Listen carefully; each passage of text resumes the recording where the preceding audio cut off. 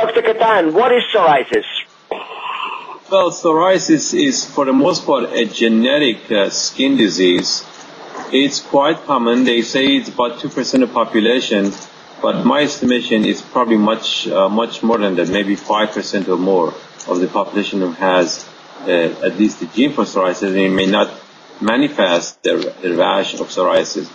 It's uh, very common, and you find uh, these red scaly plaques on the elbows and the knees. It could be on the scalp, or it could be on other parts of the body. But the most common areas are elbows and knees. Um, they can affect the nail. You can see little dots of depressions on, on the nail. Uh, they can be uh, uh, very severe on the scalp, and you see these white flakes on people's uh, uh, clothing and jackets and stuff. It could be embarrassing sometimes. It could be difficult, especially if it's uh, involving large large areas of the body, and uh, pe- people get some uh, social uh, stigmatization, and they're sort of avoided. They, people don't know what it is. They're afraid it may be contagious. Um, it, it is uh, been found recently to have been associated with uh, increased risk of cardiovascular disease and uh, and, and, diabetes.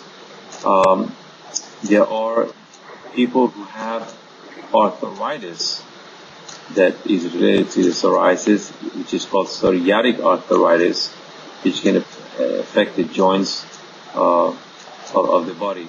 Um, basically, in, in mild cases, the skin problem, we treat them with uh, topical steroids or intralesional steroids or uh, vitamin D derivative uh, creams. Uh, there are some tar derivatives that are quite uh, effective uh, for treatment of uh, psoriasis. Uh, most recently, we've had a, laser treatment available to us, which is quite effective, um, non, not not painful, and fortunately, uh, a, a, great majority of the insurance companies cover this service, and it's done in the office. Uh, again, there's no pain. Uh, patient comes in uh, usually twice a week and gets treatment uh, and goes home and uses the cream at home. It takes usually about um, six weeks, uh, usually uh, approximately 12 treatments uh, to help the psoriasis clear. And once it's cleared, it stays that way for about approximately six months. We find it extremely helpful for people who have psoriasis on the palms and soles.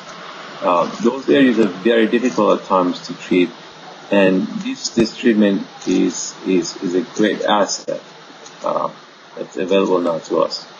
Uh, well, so you're telling me that a patient comes in. Um, has to come basically for six weeks. That's uh, that's uh, you know almost two months, and then he's only relieved for about six months, and then he has to come again for a six months treatment, and that keeps going for uh, the rest of his life. Or uh, did I misunderstand that? Well, it's well, it is going to be effective at least for six months.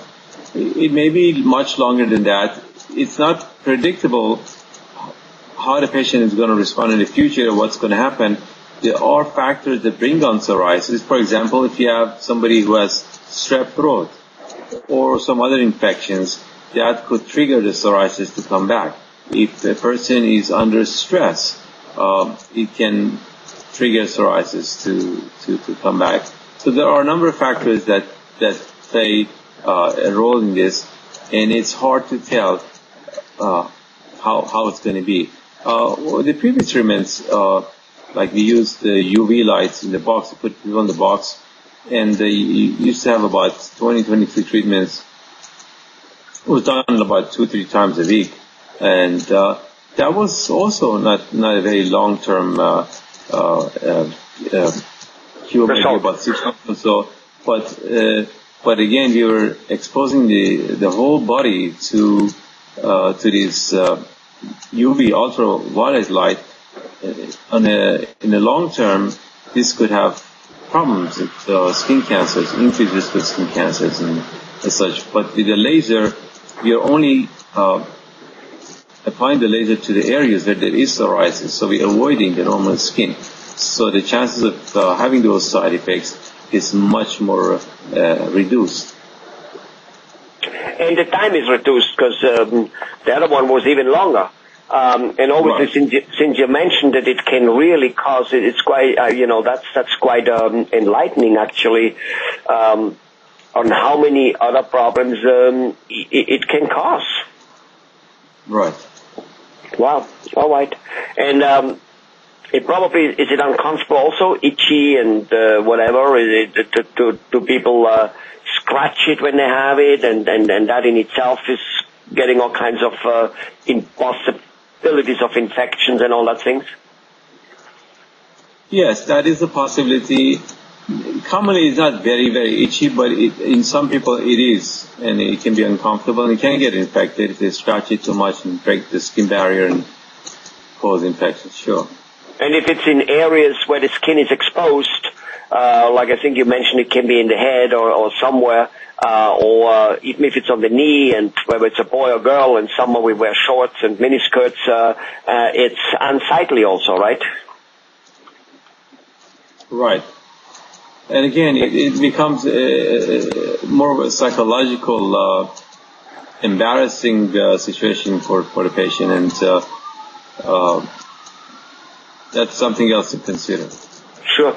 Well, again, thank you very much. Um, that should shed some light onto uh, the people listening to it. Um, bye bye.